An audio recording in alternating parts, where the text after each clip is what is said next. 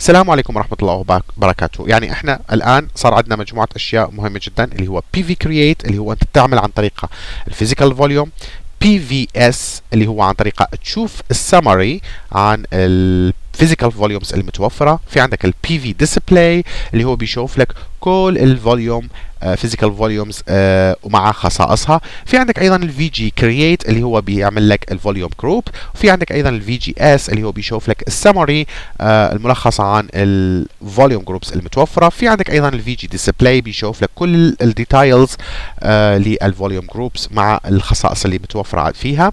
أيضا عندك ال LV create اللي هو بيعمل لك logical volumes في عندك LVS اللي بيعمل لك summary لكل ال logical volumes اللي عندك في ال device كذلك ال LV display اللي بيشوفك ال details بالكامل مع ال logical volumes وخصائصها. اذا هذه ال command ات. مهمة جدا إحنا. مهمة جدا لنا إنه إحنا كيف نستخدمها. اليوم موضوعنا هو ال resizing إحنا كيف نعمل resizing لل LVM logical volume من أحد الأشياء المهمة والجميلة جدا والفائدة المهمة جدا في ال LVM إنه ال LVM ممكن إنه من السهولة جدا إنه أنت تعمل resize إعادة تحجيم لل hard ات وهي مهمة جدا لما تيجي تتعامل مع ال file system لما يكون يشتغل ال system ويكون عندك ال hard امتلأ وأنت تحب إنه تربط hard جديد عندك ال disk ما بيساعد. فإذا أنت كان عندك إذا أنت كان عندك file system من نوع مثلا ال XFS اللي إحنا بنستخدمها في ال Linux تم استخدامها. فأنت عندك ال volume ممكن إنه أنت تزيدها. ما عندك أي مشكلة لما تستخدم ال XFS ممكن إنه يكون قابل للزيادة. آه لكن ما يسمح إنه أنت تقللها. يعني في شيء مهم جدا. لما تيجي تتعامل مع ال LVM وأنت عملت ال hard ات LVM لكن ال file system عندك XFS ال XFS يسمح لك إنه أنت تزيد ال hard لكن ما يسمح إنه أنت تقلل. okay؟ ليست مثل ال ext 4 ليست مثل ال BTRFS. هذول بيسمحوا إنه أنت تقلل أيضا إنه أنت تستقطع من ال hard. okay؟ فاذا أنت لازم تخلي في بالك.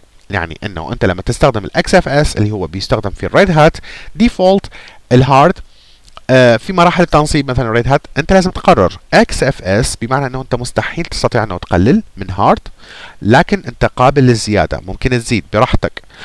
آه لكن ممكن تستخدم أيضا ال ext 4 ال ext 4 اللي هو قابل للزيادة وقابل للنقصان. ال BTRFS أيضا بيدعم الزيادة والنقصان.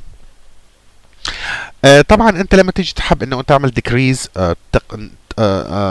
تقليل من ال ext 4 file system ممكن إنه تعملها فقط في حالة إنه يكون ال ext 4 offline يعني ليست mount.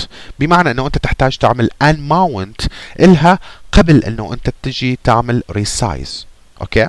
حنتعلم كيف إحنا بهذا الدورة حنتعلم كيف نعمل resize كيف نزيد من حجم ال logical volume okay؟ لأن أكثر ال server ات هي زيادة حجم وليست نقصان.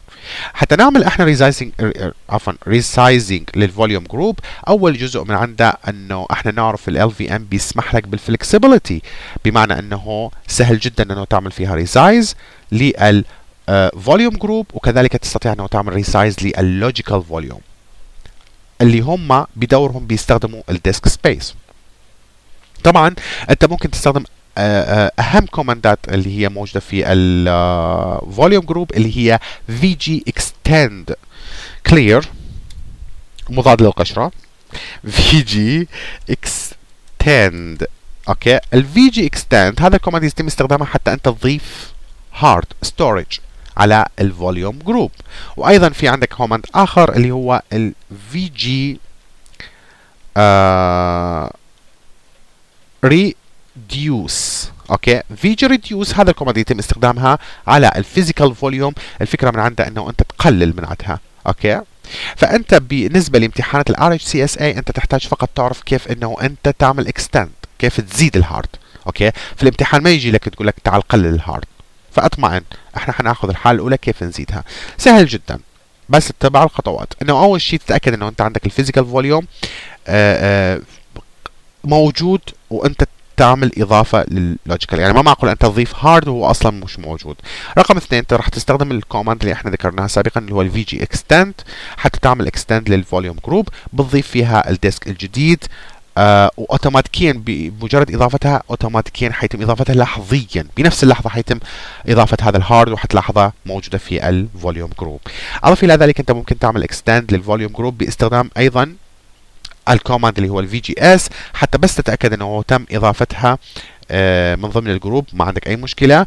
آه ال VG أيضا يحتوي على آه يعني ال VG إذا كان يحتوي على أكثر من physical ممكن إنه أنت تشوف ال PVS اللي هو ال physical في حال اذا انت حبيت بس تتأكد. okay؟ إحنا نعرف إنه حتى نن آه حتى نشوف ال VG groups ممكن إنه إحنا نختار أي VG groups طبعا إحنا عندنا ثلاث VG groups أنا عملت. ممكن إنه أنت تعمل VG group خاص لل حفظ ال data مثلا تعمل VG SAN okay؟ اللي هو storage access network إحنا نعرف انه في عندنا الكوماندات resizing وغيرها وغيرها. طبعا إحنا في عندنا كوماندات كثيرة ممكن نستخدمها ممكن أيضا تستخدم معها النسب 75% plus فيها وال free قديش حيكون. آه كل هذا إحنا خلينا ناخذ آه ناخذ exercise يكون أفضل لنا حتى نشوف إحنا كيف نعمل resizing أول شغلة إحنا نحتاج إنه نكتب S تتاكد إنه ال physical موجود. بعد ذلك تيجي تضغط على ال VGS أنت تعرف كيف تعمل ال physical صح؟ physical volume. خلاص لما تعمل ال physical volume فقط في انه تحتاج إنه أنت تضيفها لل آه ال group volume group. خلينا نشوف ال time. بيسمح. طيب اذا إحنا نحتاج إلى ال fdisk صح؟ ال fdisk نحتاج إنه نضيف فقط مثلا 100 ميجا okay؟ 100 ميجا إحنا نحتاج مثلا نضيف. مثلا for example إنه أنت تريد تضيف partition جديد. فليكن مثلا أنت عملت partition جديد هذا ال partition آه حجمه 100 okay حجمه 100 آه ميجا أو something like that. وتحب إنه أنت تضيفها في ال data okay فكل اللي نحتاجه إحنا كل اللي نحتاجه إحنا آه نحتاج نتبع طبعا طرق خاصة. آه هنا أنا أحتاج إنه أعمل shutdown لل virtual machine لأن هذا الشيء ما راح ينفع الآن.